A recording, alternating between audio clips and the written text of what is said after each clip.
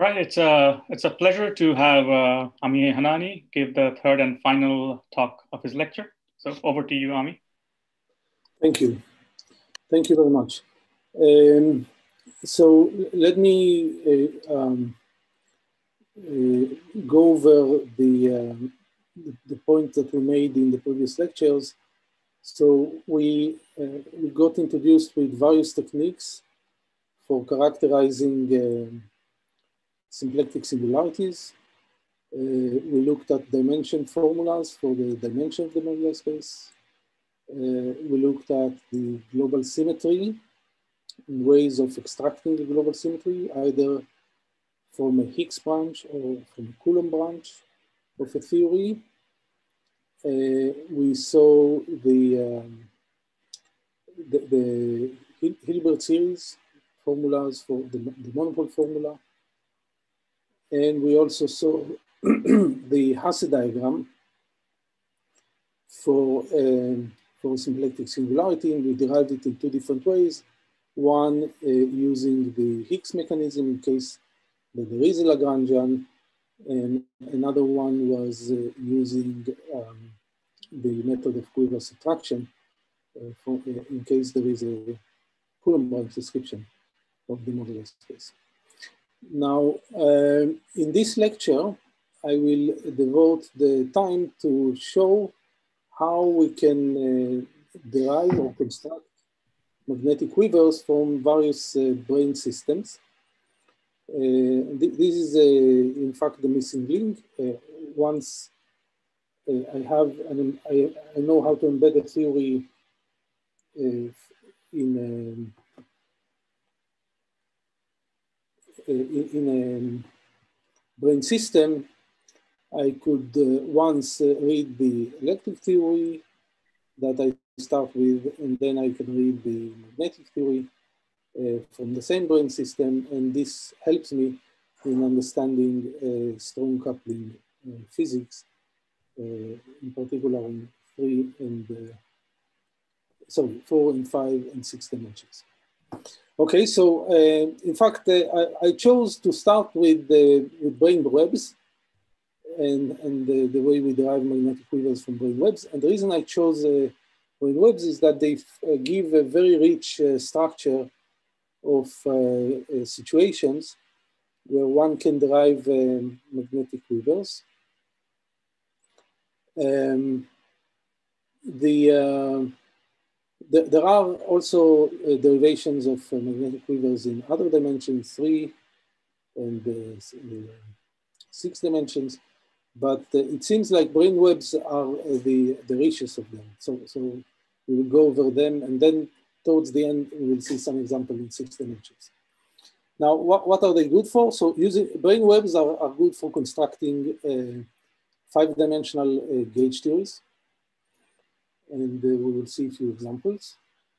Uh, and the main question that we will ask is uh, to figure out what happens to the Higgs branch as I tune some of the parameters of the, of the theory. Okay.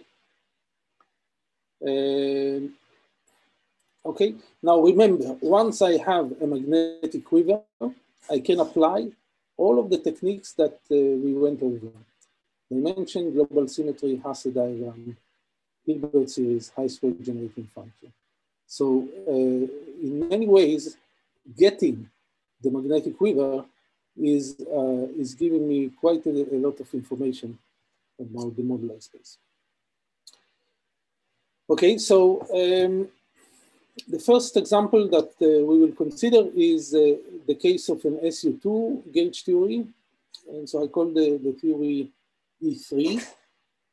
E3 is a, a product of two uh, groups, A1 SU2 times SU3. And, uh, and, the, and the gauge theory is, uh, is, is, this gauge theory that you see over here. It's an SU2 gauge theory with two flavors. Now, um, it's well known from the, well, in the 90s that uh, SU2 with N flavors uh, has a, a, a Higgs branch, which as you tune the gauge coupling to infinity, becomes uh, En plus one. Right? So if I start with n flavors, the, uh, the moduli space is minimal En plus one uh, nilpotent orbit. Now, in the case where the uh, um, the, the symmetry or the algebra is E3, I have a very interesting situation that the um, uh, there, there, are two gauge groups. And if I think of the moduli space as a moduli space of instantons, then the instanton can either be in the uh, SU2 theory or it can be in the SU3 theory. Now, as a result, the moduli space is a union of two cones. Right? So it's the union of minimal A2 closure and minimal A1 closure. So let us see how we can derive this from the uh, brane system. Now, this is a known result. This is a known result from the 90s. Uh, uh, the uh, derivation here using branes is a new part. So here's the, here's the brane system. So you could see that there are two finite D5 branes here on an interval, which constitute an SU2 gauge theory. This line over here gives one flavor, and this line over here gives the other flavor. And I can think of the, the uh, vertical lines here as uh, the analogs of 5 branes, which uh, constitute the, the theory. So that's an SU2 gauge theory with two flavors. Now it has several parameters, so I can uh, move this line up and down. I can also move this line up and down. And I can uh, change the distance uh, along here. So three parameters. The, this distance uh, would give roughly the gauge coupling. Uh, I'll have the two masses, which are roughly given by uh, the, the position of those two lines. So there are two masses. And there is also the vacuum expectation value, which is roughly the size, the distance between those two lines here. Okay, so as I go to the origin of the Coulomb branch by setting the uh, um, vacuum expectation value to zero, and by setting the masses to zero and the inverse coupling also to zero, I reach this phase of the, uh, of the brane system. And something very interesting happens when I reach this phase. I can now uh, divide the web that uh, I have here into different subwebs. Uh, over here, there's no way I can divide the, this web into subwebs without uh, breaking supersymmetry. So it's a single object this single object, you can think of it as moving um, in and out of the board. And there are uh, these circles here are denoting uh, seven branes of various types. This is a D7, this is the S dual of a D7. And uh, this one is, we can think of it as a 117.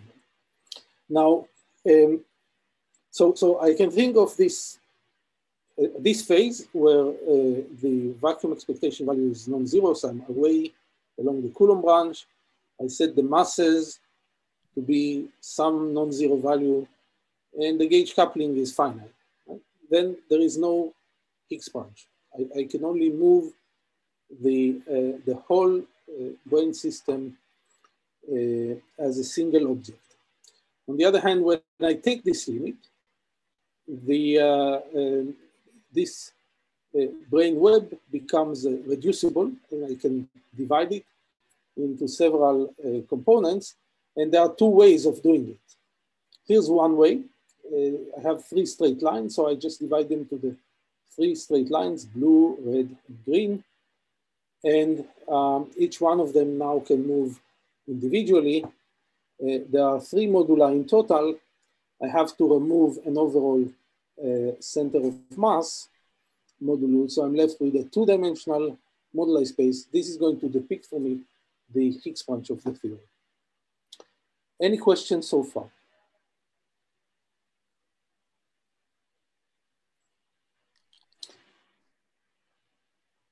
Okay, so now I can uh, I, I can think about the um, the way these guys uh, uh, intersect. So between the blue and the green line, there is uh, one intersection, and so at this intersection, I can stretch uh, the free brane which uh, would become massless if they are on top of each other, but if they are away from each other, then it's a, a tensionful uh, the free brane. I'm going to consider the, the three brane as a, a, virtual object. And so um, it will be encoded in the magnetic quiver as uh, nodes for each line. So I have three lines uh, in the brane system, three nodes in the quiver, one per each uh, line. And I have um, an intersection between each pair of them. So the blue intersects with the green once, the green with the red once, and the blue and the red once. So there are three lines connecting those uh, uh, brane systems. This is the magnetic quiver. Now I compute the uh, Coulomb branch of this uh, quiver and I find a known result, minimal A2, reproducing the uh, known expectation for the moduli space. Uh, any questions about this derivation?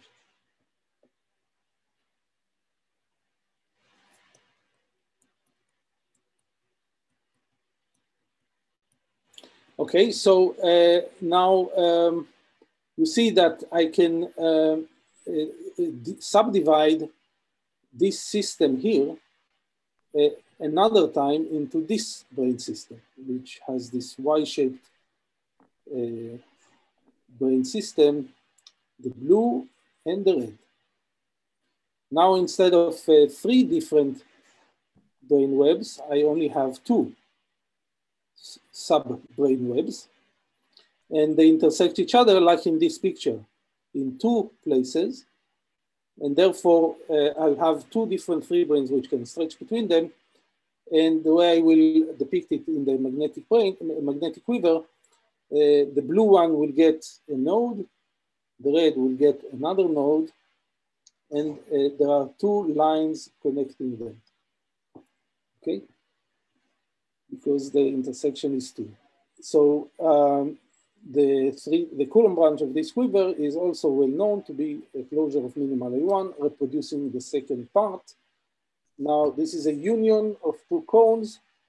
Uh, I can only uh, have uh, those two brane systems coincide at the origin, right? So I can start with this brane system where the two branes are far apart only when they touch, I can move to the new branch where I subdivide into three uh, webs over here. so these are two cones which meet at the origin, as expected from these uh, moduli spaces. Any questions?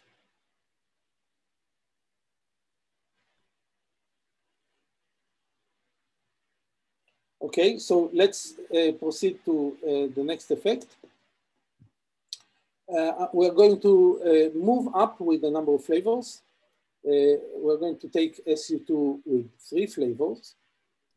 Uh, when I tune the gauge coupling, the moduli space is going to be minimal E4, and E4 is equal to A4. So I really should expect the closure of minimal SU5 uh, or minimal SL5 in this uh, modular space. Let's see how it goes. So here's the toric diagram for the corresponding uh, brane system. Here's the brane system itself. Notice that uh, for every line, there is an orthogonal line here. This picture, so the, the, the transition between this diagram and this brane web is that a phase maps to a, a, a node, a face here maps to an intersection, and an edge uh, maps to um, an orthogonal edge. Okay. Okay, so here's the brane system. And again, I have several moduli. This time I, I should expect three masses, one gauge coupling, and one modulus. Right, so one gauge coupling, one modulus, three masses. The three masses are given by positions of those three lines over here. Gauge coupling is the distance, and the vacuum expectation value is uh, this distance. When I send all of them to zero, I get the following brane system with the seven branes that are connected at the ends of each one of them. And now I can uh, look for a subdivision of this brane system. Note here that for this brane system, I'm not allowed to subdivide without breaking supersymmetry. Only when I send all of these parameters to zero, uh, I'll get this uh, uh brane system. And uh, there's only one subdivision as opposed to the previous case. Uh, check a consistent subdivision will give you only this. So now I have red, green, this purple, this type of uh, brown and orange. Okay, so um, five different subwebs. And the next thing I need to do is to figure out the, uh, the way they are uh, connected to each other. So here are the five different webs, each with multiplicity one. And uh, next, uh, I just uh, work out that uh, along this seven brane, there is one web which is connected to this red one over here. And I can stretch a virtual D3 brane between uh, the two uh, along the seven brane world volume. And um, this will give me one hypermultiplet over here, okay? Now this red is also connected to an orange uh, through here, this intersection. The orange is connected to a blue uh, again through this intersection. The blue intersects with the green. So that's this line that we have. And finally, uh, the green is connected to this uh, uh, web. This is the web that is, we started with. So we nicely form a necklace quiver. And this is quite surprising. For me, it was very surprising to find this result because the uh, when you look at this brane system, doesn't look uh, at all that uh, it should look like a, a, necklace quiver.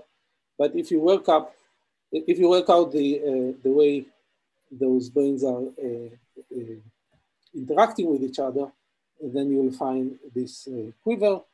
You further compute the Coulomb branch of this magnetic quiver, and indeed you get a known result, minimal A4 closure and uh, this is a very nice way of deriving the moduli space of SU2 with three flavors at infinite coupling. Any questions? Ami, I have a question. Yes. So um, for the SU2 with two flavors and SU2 with three flavors, uh, you could have uh, worked out the magnetic quivers using just the standard type 2B uh, construction, right? Using orientifold five planes. Yes at, at finite coupling. Say it again. At finite coupling, not infinite, right? At finite coupling, but you would still uh, derive these same quivers, right? Like SU2 with the three. Electric, the electric quivers, not, not the magnetic quiver. For, for the magnetic quiver, I will have to go to an infinite coupling, right? So this is a crucial point. Uh, at final coupling, I will get a different quiver. Remember that if you if you get rid of one of the U1s? Um, uh, isn't this the, uh, let's see. Do you have one extra node or? No. So SU2 with three should give you um, the mirror of U1 with four flavors, right? Uh, yes, and, and that and that's what you're getting. Yes, yes. Yes. So then, then I should think it's like the normal S duality should be equivalent to your magnetic quiver in this particular case, at least. But only, but but but where is the part that you uh, um, you make the distinction between finite coupling and infinite coupling, right? Remember, SU3, SU2 with three flavors has a moduli space which is not minimal A4 at finite coupling. It's uh, the minimal SO6 instantons, and the minimal SO6 instanton is, uh, that's A3 and not A4. It's a different model. Okay, okay. Right? That's right. And, and here, so I, I should have probably made the distinction between finite coupling and uh, an infinite coupling. And then you would see that when, when the coupling is finite, the you get minimal A3, whereas when the coupling is infinite. Right, right. Yeah, I think that's the difference. There's an extra node in this. Okay, good, good. Yeah. Right. Okay, and the connectivity is also looking different. So that's a very important uh, point to, to, to, think about. Um, right. Uh, yeah, in fact, uh, here, um, this theory, SU2 with four flavors, if you do the, uh, the finite coupling Higgs branch, you get minimal D4. And if you do the infinite coupling Higgs branch, you get minimal D5. And so uh, this figure shows you how uh, you get uh, minimal D5. Right, so, so this is the brane system you start with. Again, you see SU2, uh, those two uh, four flavors, one, two, three, and four. Uh, this value is roughly the gauge coupling. There are four masses given by the positions of those branes.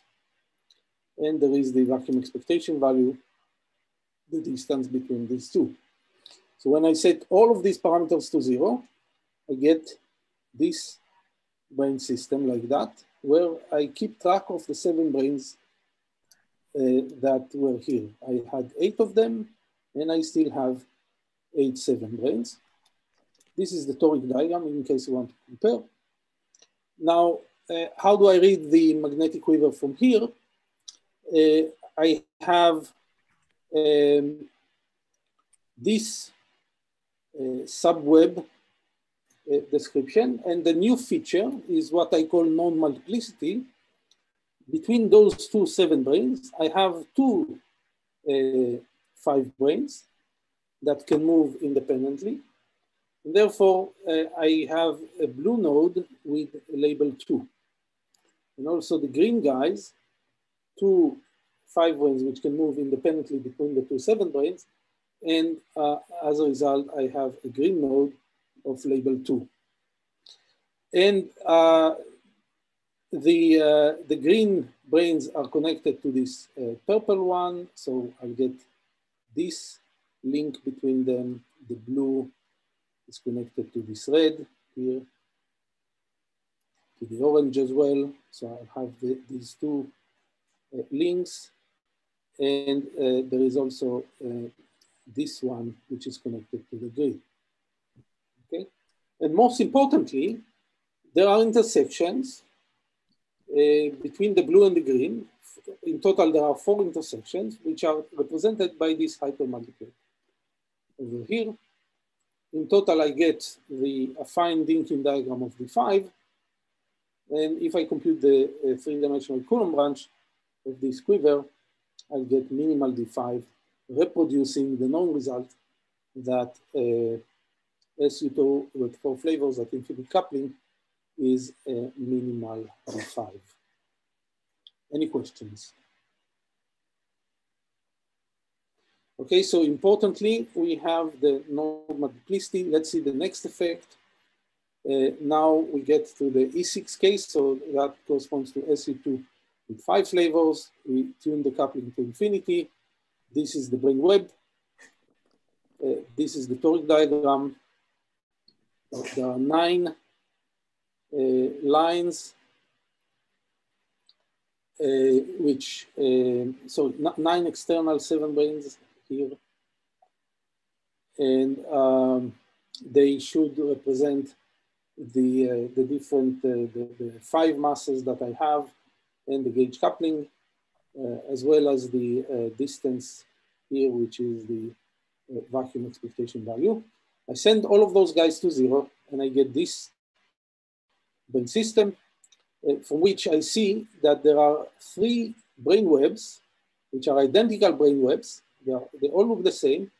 They can move as a single object, but three of them. Right? So I have three independent moduli to move uh, between those three seven brains, like that. In addition to two uh, in each side, two here and two here. And finally, one, one, and one. So I get a breaking. There's one in the middle, and two, one, two, one, and two, one. I get those three legs. And uh, this uh, is going to be the corresponding magnetic quiver. Uh, so uh, th these colors over here would follow this line, one, two, and three. So I have one, two, and three connected by an edge in each case. Uh, the central three are connected to two and one and two and one. So this is what we see, two and one, two and one. Simple edges connecting them. Uh, the resulting magnetic quiver is the affine Dynkin diagram of physics. I compute the 3D Coulomb branch, I get this result, and this reproduces a, a known result from the 90s that this is a modularized space. Any question? Now you could see the pattern. Uh, what I can do next is to construct any uh, any web that I wish, right? Uh, so what, what we did so far was to make sure that this system um, reproduces results that were known before. So it agrees perfectly with everything that we knew before. But uh, this also generates plenty of new cases that we have not seen before. And so it gives many predictions for the behavior of uh, gauge theories in five dimensions at strong coupling. Okay? Any questions about the technique, the method that we're using? Or any other conceptual questions?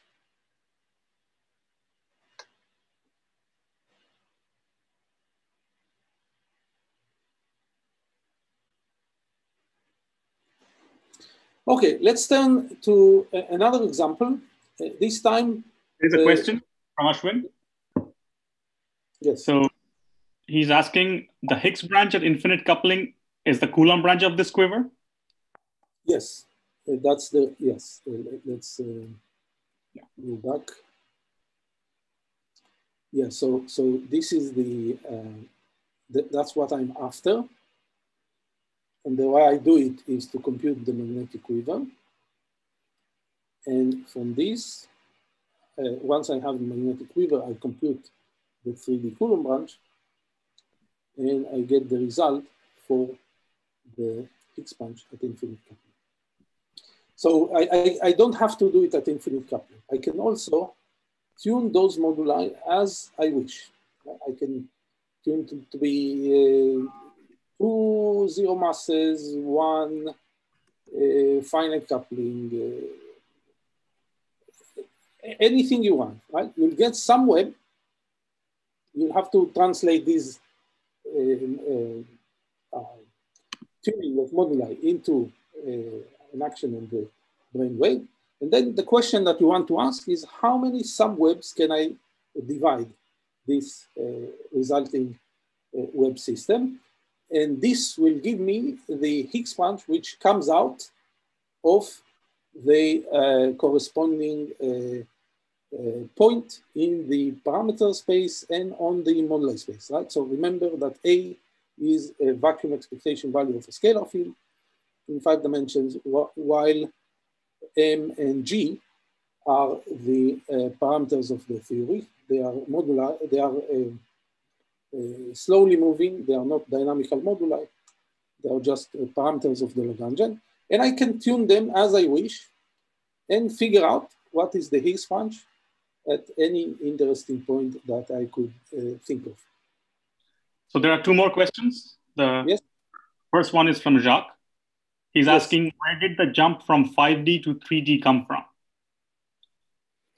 Uh, so the, remember that uh, the um, uh, the um, we are we are thinking we, we are really what we are really doing is electric magnetic duality, right? So I can take this brane system here, and I can read the um, uh, electric quiver, which is this one, by doing the usual uh, perturbative open strings that uh, we know. We take D branes, we stretch fundamental strings between them, and this allows us to say that there is an SU2 theory, uh, there is a, um, a, um, a, a, fundamental string that should stretch between those two, and that would give me fundamental flavor, like, like in here, right? So that's a string perturbation theory. This is the electric theory. What is the magnetic theory? So what I need to do is to remember that uh, for every uh, brane system, there is the magnetic dual, the ma magnetic dual degrees of freedom. In this particular case, we are dealing with uh, the magnetic objects, which are three branes, right? So uh, uh, if for D5 brane, the electric uh, excitation will be a fundamental string ending on the D5, I could ask what is the magnetic excitation? That will be a D3 brane, which ends on the uh, on the D5 brane. Or it, it, should, it could also end a D3 brane on an S brane. That's again a magnetic excitation. In fact, a D3 brane can end on any PQ5 brane right, as a magnetic excitation. So those are the magnetic degrees of freedom. So what I do here is not really go down to three dimensions. What I do is I think of the magnetic degrees of freedom. Remember that the uh, 3D Coulomb branch is a, is a moduli space of magnetic objects. These are uh, um, the, uh, uh, the, the, objects that live on the dual lattice, right? I, am constructing the Coulomb branch as the space of dressed monopole operators. And so what I really need to think is not about three dimensions. I need to think about codimension three. Right? So the D3 brane inside the 5 brane is a codimension three object. And that's the thing which gives me the magnetic quiver. I just switch to the magnetic degrees of freedom and extract the uh, uh, magnetic excitations from this uh, brane system.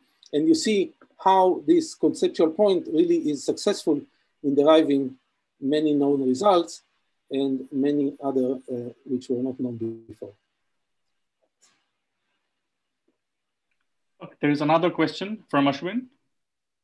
Uh, yes. The question is, there a similar story in 5D for k instanton moduli spaces for k greater than one? Um, so when you say similar story, you want to get the magnetic quiver for uh, the um, moduli space of instantons, right? Uh, which we already know how it looks like for uh, affine algebras. So we just need to verify that uh, this is the case. I haven't tried, but uh, I'm sure uh, the, the, you'll get very nice uh, results in this way. Um, it's, it's actually a nice challenge to try. So remember, uh, for A-type, uh, we, we know that it looks like a necklace quiver, and um, we just need to verify that uh, this is the case. Uh, we may have had, um, uh, yeah, I believe we had in, in uh, the paper with um, Futoshi Yagi and Santiago Cabrera, towards the end, we did the two instantons of E6 of the exceptional algebras and uh, very nicely we got the, uh, the expected results.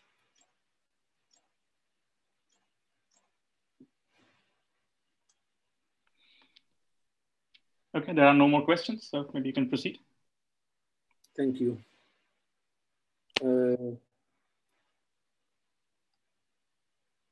okay, Um, so the next point is to, um, so we, we, we first saw in the previous examples, we saw that uh, we have node multiplicities, three, two, and one. What I want to show now that is we can also get edge multiplicity. And for this, we take a very simple uh, theory, um, super Mills, uh, SUN, uh, choose the level to be zero, and again ask what happens when I tune the coupling to infinity. So uh, we use the, uh, uh, the routine. So first embedded in terms of branes, here's the brane system over here. Uh, so I get n parallel D5 branes. They modify the, uh, the external branes. So if I insist that uh, those two remain uh, Neveu-Schwarz 5 branes, uh, this modifies the, those two external brains to be of this type. And here's the brane system. Uh, next, uh, the, the, theory has only uh, one parameter, that's the gauge coupling, and the rest are moduli, the distances here. Since I have n d branes, here there are n minus one distances between them. So I can set all of them to zero. I move to the origin of the moduli space, and then I get this brane system. Very crucially, uh, those two external branes are parallel and they form a single brane as I set all of those parameters to zero. And those two NS branes here also coincide and become one single brane. And only at this point, I can see that they can uh, split, right? They can move independently uh, away from the board and uh, or away from the screen, in and out of the screen.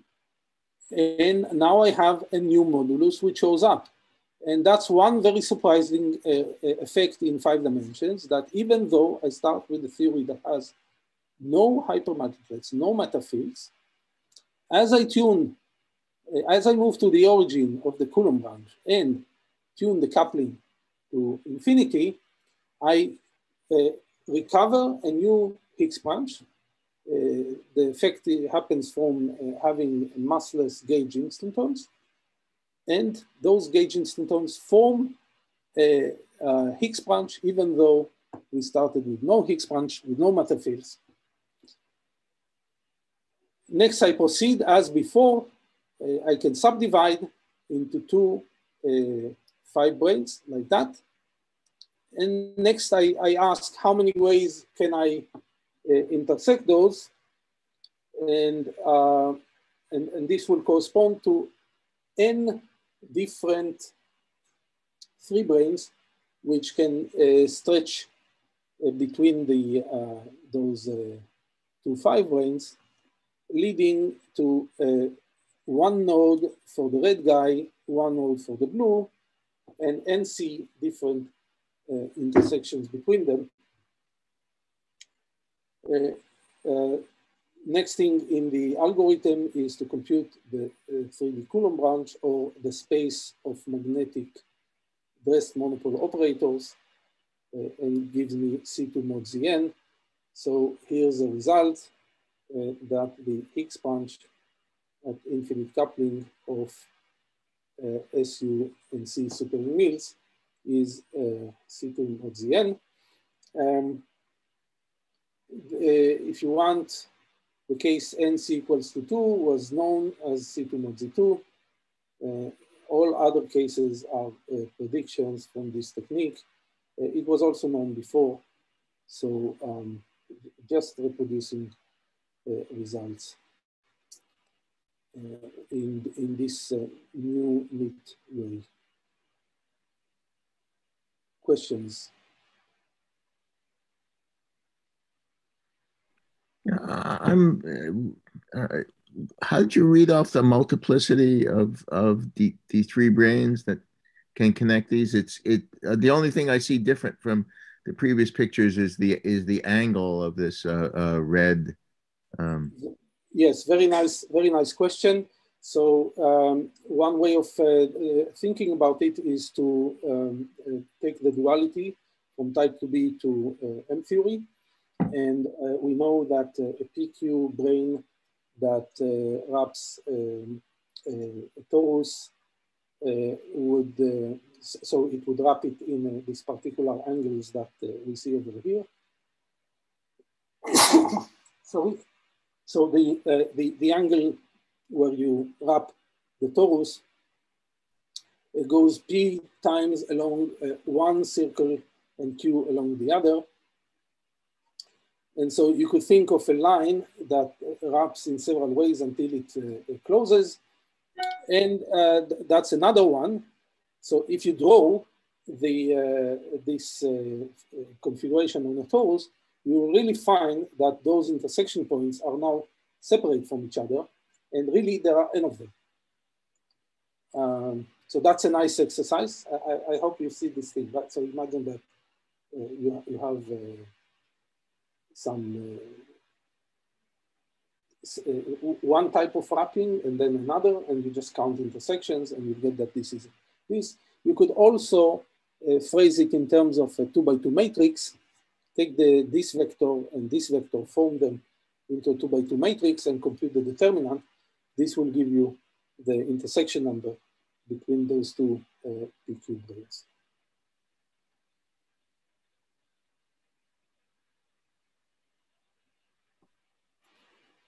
So it's a, it's a beautiful piece of, uh, of string duality, in fact.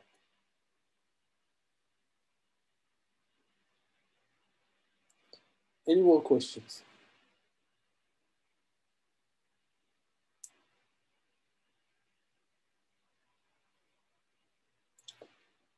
Okay. Can we move to the next example? Uh, in the next example, uh, we, we picked a, a you know, it, it, on the face of it, it looks like a, a random choice. I, I take SU5, the Chern-Simons level is one, and the number of flavors is six. More generally, I could uh, take a three parameter family, number of colors, number of flavors, and the Chern-Simons level. And for each one of those cases, I can ask uh, what happens as I tune the gauge coupling to infinity and as I move uh, to the origin of the Coulomb branch. What kind of Higgs branch shows up? Now, the reason we picked this example is because of this phenomenon. Uh, the, uh, the Higgs branch at the infinite coupling becomes a union of three cones. Uh, we, we saw the case of two cones. Uh, we also know of classical Higgs branches where are uh, unions of uh, two cones. In this case, I have union of three cones which show up only at infinite coupling. And so let's, let's go over the um, the details of this example. This is the toric diagram. This is the brane web. You see they, they nice, nicely fit as uh, dual uh, diagrams.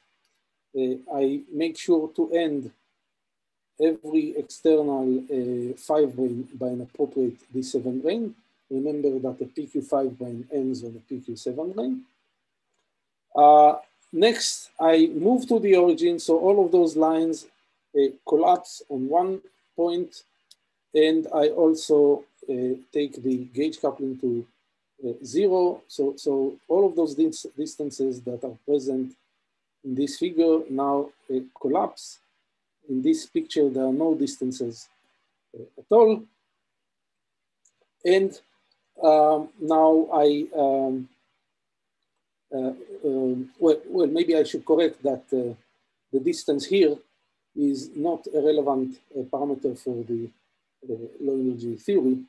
Uh, and, and, therefore we, we, we, do consider this uh, web as characterizing the conformal field theory that is at the root of this um, gauge theory. It's the UV completion of this gauge theory. So um, I, I, I, get this brane web here Now I have the task of uh, understanding how many subwebs.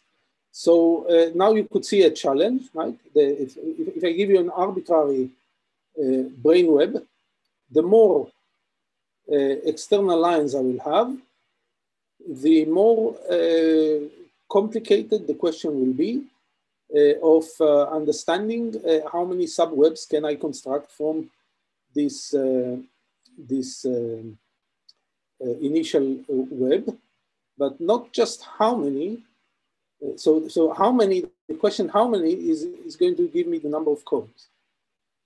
Uh, but for each subdivision, I also need to compute the corresponding quiver, as we see over here. And so I will have to compute the way each subweb intersects with the other subwebs. Right? And so that's going to become a, a, challenge as we increase the number of branes more and more. Uh, on the other hand, the benefit will be uh, that I can understand the uh, uh strong coupling physics of many five-dimensional theories. So uh, let's look at the, uh, um, the details. So first of all, since there are three subdivisions, the moduli space is a union of three cones, C1, C2, and C3. And they, in detail, I could just see that I could either take this as an independent subweb, and then there is a line, one, two, three, and two, three, one, like that of uh, other branes. So this would give me this particular brane web. Uh, or alternatively, I can take one line here, one line here and combine into a subweb. And here's the red subweb. So clearly those are different uh, subwebs and check what I have remaining. And finally, I can take this blue subweb where I have um, one line here, one line here, and two lines over here. And then this uh, red, two, one, one here and one here. Right? So that's going to become more and more of a challenge to do those subdivisions. If I miss one subdivision, I miss the whole cone in the Higgs branch, so I better not uh, do that. Uh, and uh, there we go. We compute the uh, magnetic quivers, taking into account node multiplicity, edge multiplicity, and uh, we got those uh, final results. Uh, next thing I want to do is to figure out whether there are intersections between C1, C2, C2, C3, and C1, C3. Any questions?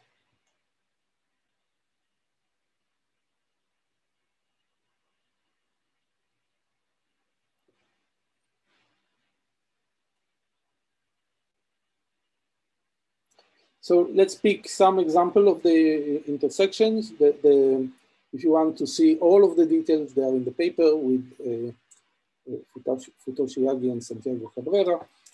Um, so here's the intersection of uh, uh, two cones, C1 and C2. What I do is, uh, this is the cone, this is the subweb or subdivision for uh, uh, C1, this is the subdivision for C2, what I look for is a common brane web, uh, which uh, can be uh, uh, derived by combining some of the subwebs here and some of the subwebs here, such that they are uh, sharing the same um, subweb. So that's the intersection. Once I derive the intersection, I repeat the computation of intersections between the different subwebs, uh, derive a quiver, compute its 3D Coulomb branch, and this is the, the um, intersection between the two moduli spaces. Uh, I could also take all three cones and uh, look for the intersection between all of them. So there is this one big thing here, which is common to all three. And now I compute the intersection with the remaining guys. I get this quiver. The quiver becomes simpler and simpler as I compute more intersections. And I find that the triple intersection is the uh, minimal SL6 nilpotent orbit. Uh, any questions? So Ami, you have about 10 minutes to go. Thank you very much. Okay, okay so uh, here, uh, uh, what I want to demonstrate is that, uh, in fact, in, in a different paper, we, we use the method of brane webs to compute uh, four-dimensional moduli spaces with n equal to supersymmetry uh, and just SQCD. Now, what's the, the problem with such moduli spaces? Uh, when you try to compute, this, this is just a classical, uh, those are all classical moduli spaces. Higgs branches of SU6 with some flavors. Right? So on the face of it, you would say, okay, uh, big deal, it's a classical theory. But something very important happens in an intermediate regime, starting from six flavors all the way up to 10 flavors. The uh, moduli space is not a single cone. It's a union of two cones, which I can call the uh, mesonic branch and the baryonic branch. Here, the two intersect at the origin, but over here, the, the mesonic branch and the baryonic branch, which is these three leaves, intersect over here. And the, the more I go with the number of flavors, the bigger the intersection. Okay, so nice intersection until for 11 top flavors, no more uh, union of two cones, just a single cone. Now, how do I know all of this structure? Uh, it's very hard. I mean, you could try and write down the uh, chiral ring. Chiral ring was worked out. Uh, from the chiral ring, it's very hard to figure out that there are two uh, uh, union of two cones. And furthermore, it's very hard to, to to see the structure.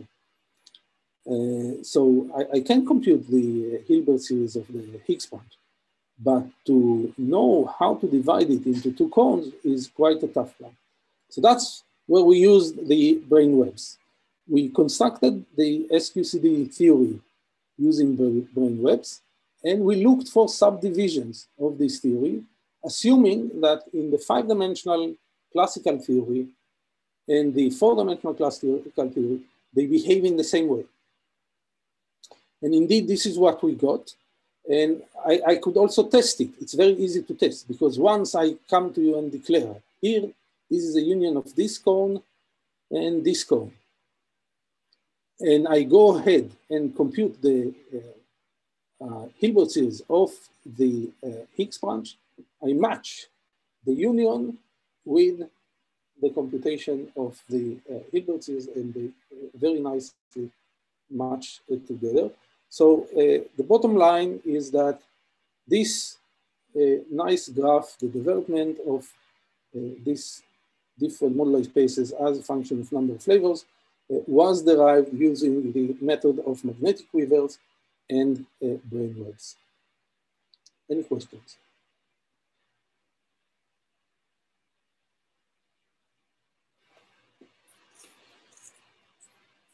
Now, one very crucial thing, and, and we don't have too much time, so I'll, I'll just be brief over this case. Um, notice that we are uh, pretty much using the same techniques. We, we, Jacques has a question.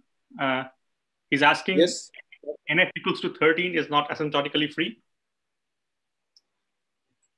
Um, the, of course, it's not. Yes, yes. It's not uh, asymptotically free, but the uh, Higgs branch is a very nice moduli space.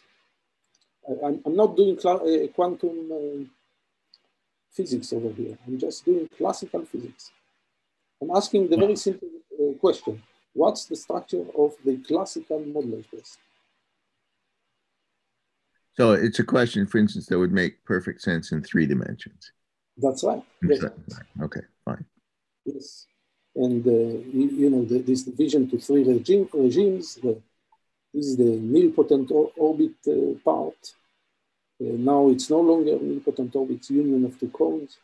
And uh, this part where they become um, nicely behaved also look D5, D4, D3, this line you could be as D2, and then this uh, union starts going down like that. A very nice pattern that you could uh, learn from this uh, structure. Very nice questions. Thank you.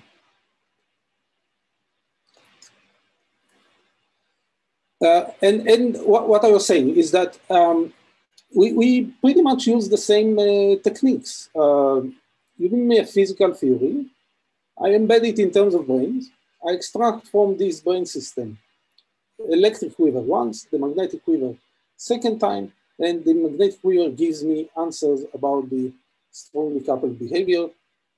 And, uh, and, and repetitive application of this reveals a whole set of new phenomena I just need to uh, uh, focus on the corresponding dimension and the different effect which uh, happen. So it's a very rich story and many, many new phenomena to discover.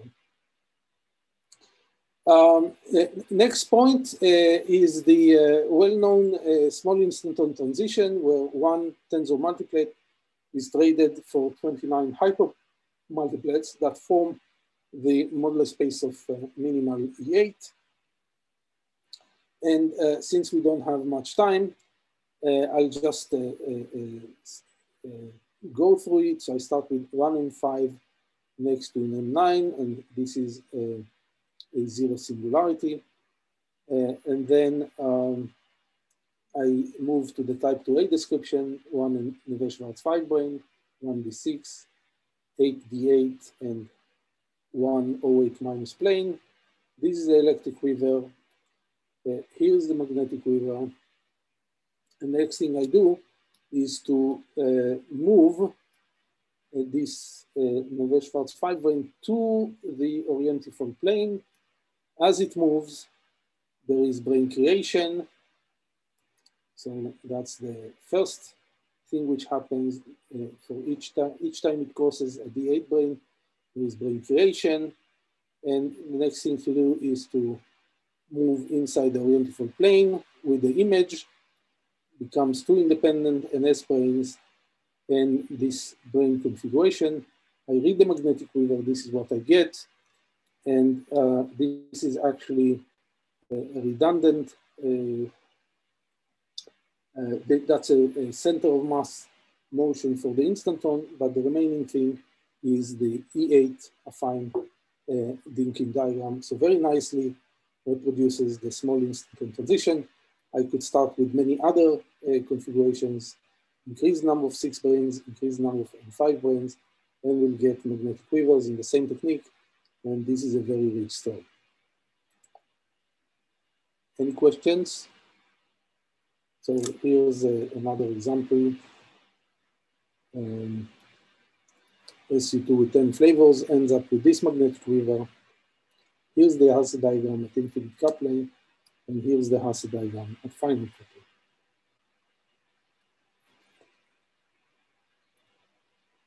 Uh, one last comment and then we finish. Uh, this phenomenon of uh, tensionless strings and discrete uh, gauging in SU2 with four flavors this is the way I construct the, the theory. Um, and this is already uh, in the form of the magnetic quivers because the six branes are in between eight branes. I read the magnetic quiver, this is it, it is what I expect at finite coupling, but uh, when I tune the distance here to, to zero, when they coincide, I get this magnetic quiver and look what happens to the Hasse diagram. From uh, minimal D4, it becomes next to minimal B3. And, and so that's the effect of uh, Z2 uh, quotient. This, the Coulomb branch of this quiver is the Z2 orbifold of this, of the Coulomb branch of this quiver. So discrete gauging, when N and 5 branes coincide on an A-type singularity, uh, symmetric group of order n is, uh, or n elements is uh, gauged.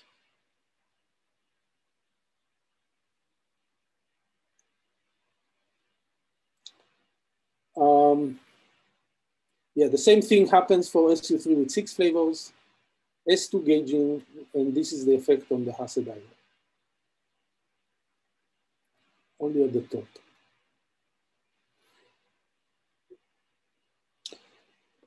Okay, uh, I'm uh, ready to finish uh, the series. Uh, we had a series of three different talks.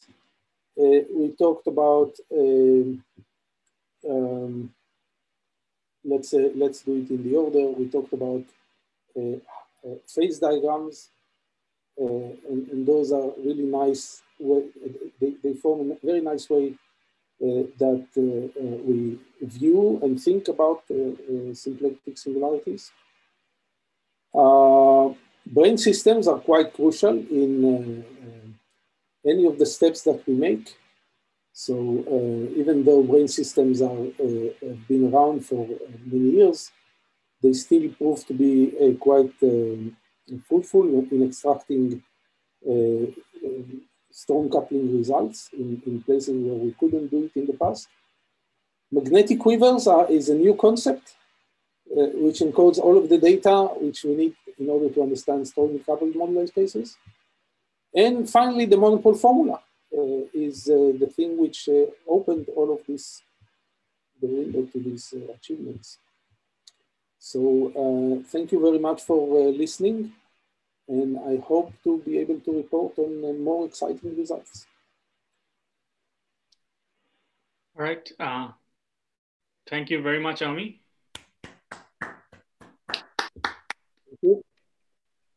Uh, so let's have question answers. Uh, so Aswin already has a question.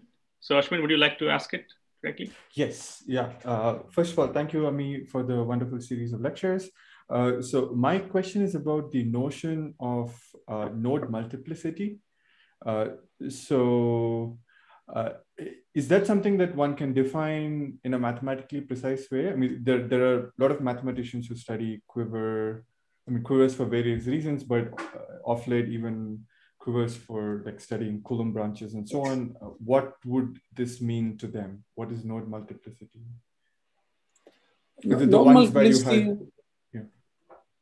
yeah, yeah. I mean, so it, it, from the point of view of the brane system, it's just that I have two identical copies of the same object, right? So uh, look, look, over here. Right? Yeah, or, or, yeah. Uh, let's look at. Um, so, so uh, yeah, here's the node multiplicity two.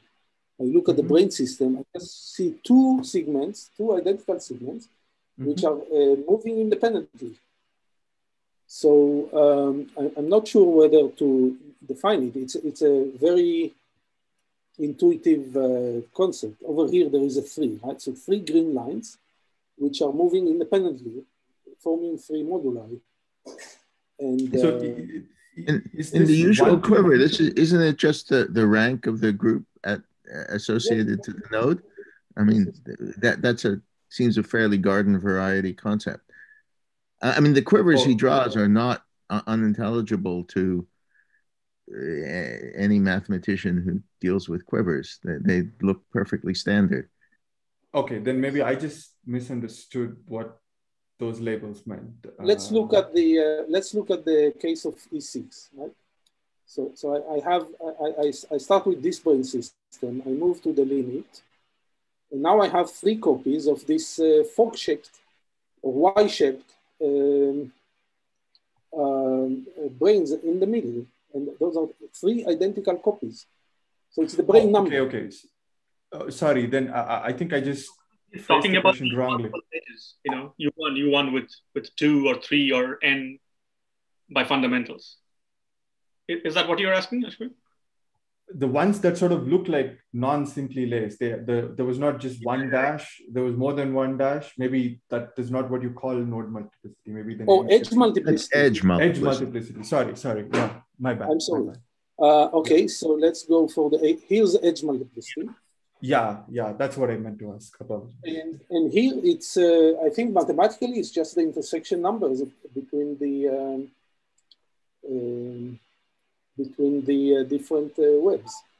There's actually an extension of it coming from tropical geometry. So if you look at the paper, mm-hmm. we, uh, we took results and uh, we, we consulted uh, one of the tropical geomet- geometers by the name of uh, Erwan Brugallé.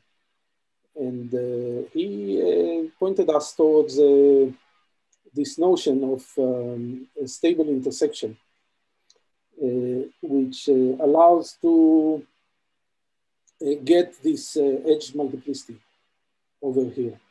So, so in this case, uh, the way I explained to Jacques was that uh, you get it by wrapping uh, PQ branes on a torus. So when you do that, you just get a, um, an expansion.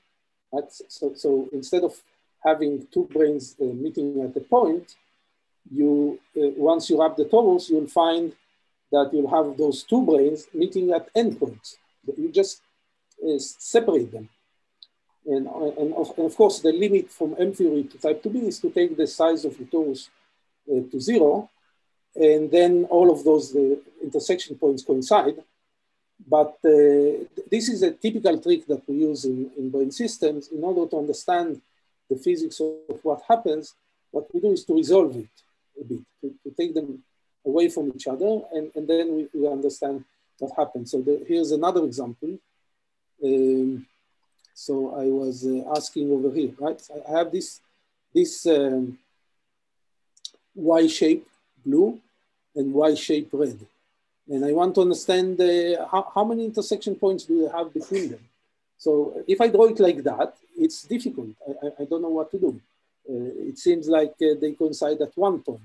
But if I just move them a little bit, then I clearly see that they intersect at, at, at two points. And this is uh, what uh, Erwan Brugallé calls a stable intersection. Because no matter how I will move them away from each other, this notion of intersection two will uh, remain uh, valid. Uh, and so that's why we say uh, two points of intersection and when we draw the quiver, one node per Y shape and two points of intersection. So it's edge of multiplicity two.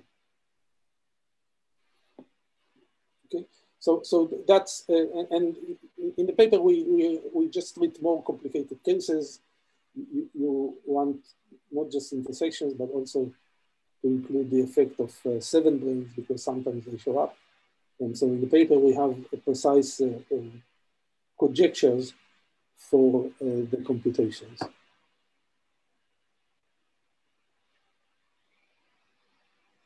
Oh, so should we then expect like something like the BFN definition of the Coulomb branch can also uh, extend to these cases with uh, edge multiplicities? Is that reasonable to expect? Yes, yes. It's it's very easy to um, include the notion of uh, edge multiplicity into the uh, monopole formula I think uh, I talked to Nakajima. He, he accepts that. He, he has no problem with that, for example. Uh, okay. Uh, so he, he would even do uh, worse. He, he would uh, have one multiplicity in one direction and one in another. He also said that, but that would be, this we would call um, non-simply laced. But here, those guys are still simply laced.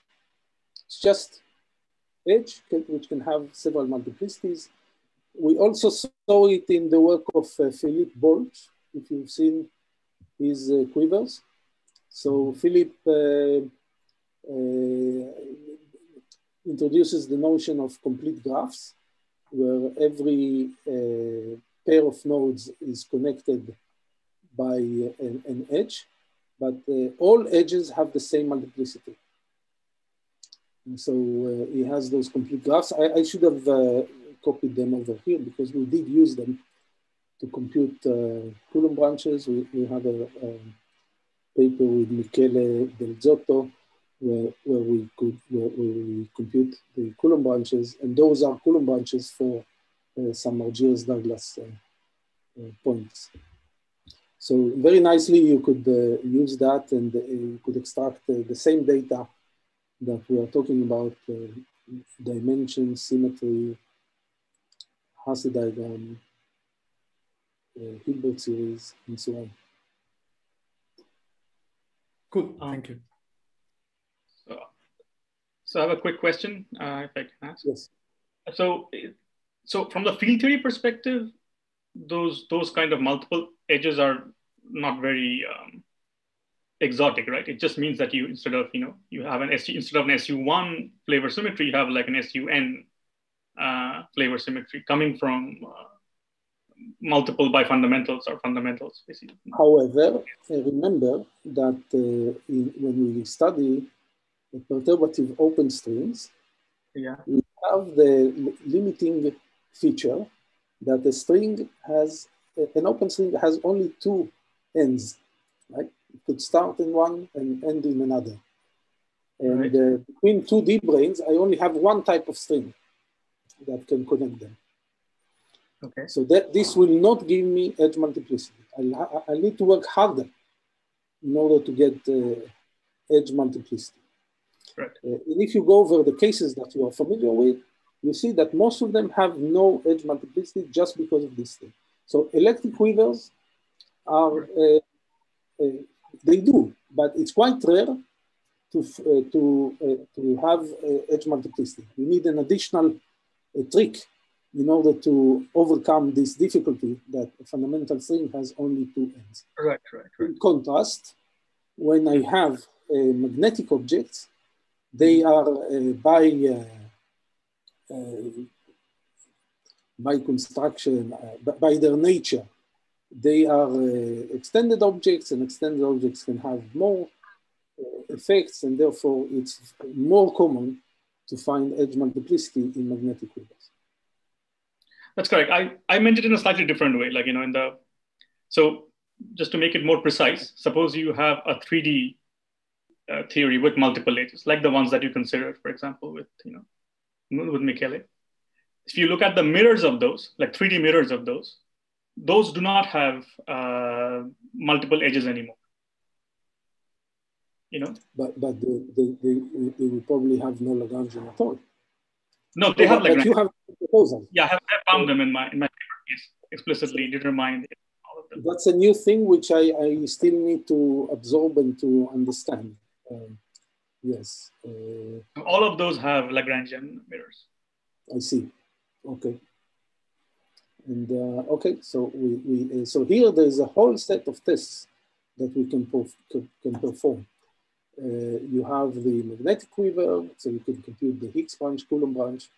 You have the electric quiver, you, have, you can compute the Higgs branch, Coulomb branch, and, and check whether they agree or not.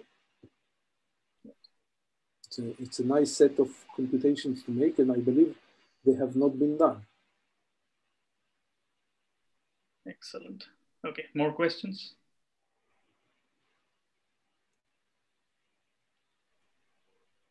Um, so uh, an exercise for one of the students here, check that uh, the uh, claimed uh, mirrors are uh, indeed mirrors. Non-trivial computation.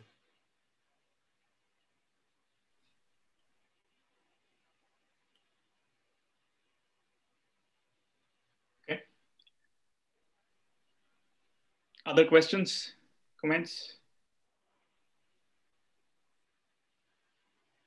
Okay, I have one more question. So if you look at this SU2 with two flavors, this case that you have right now on. Yes. Uh, so for, for finite coupling, you also have two cones, right? You can just look at the, and that is, I, I believe, uh, two copies of the, of the closure of the minimal A1. Yes. Right? So how does, uh, so is there any intuition about how this, you know, one of them kind of remains uh, the same while the other one gets uh, gets promoted to this minimal A2? As you take yeah, the, the, the, thing is that the uh, the instanton uh, the, the gauge instantons are only charged on the one of the C2s and not under the other. Ah. So this is um, qu quite well understood, and um, it's uh, you, you, could check it. Um, there've been uh, a collection of computations. Uh, so, so we have a paper with uh, Ferlito and uh, Noppadol and, and Stefano Cremonesi So in, in this paper, we show that uh, when you decompose the states, that mm-hmm. only one of the one of the SU2 acts on the instantons, the other doesn't. Um, it's because the uh, the instanton number uh, is uh, uh, a cartan of one of them, not the other. Right? So, so, you don't have much of a choice. And uh, you could also look at uh, some uh, other computations. So, so the, the work of uh, uh, Kimyeong Lee mm-hmm. and uh, Sok Kim, also Hichol, they, um, they computed some five-dimensional index. And from the index, they showed that there is an enhancement of the global symmetry. And so you could uh, trace the, the way the gauge instantons are charged for this particular case. And again, you will find that it is charged under one SU2, but not the other. So um, yeah, in, in, in, the paper with, the, with Ferlito, we worked out the details of the chiral ring. So we wrote the chiral rings for the classical theory, and we showed how it gets corrected when you include the uh, effect of the, those uh, massless instantons. Other questions, comments?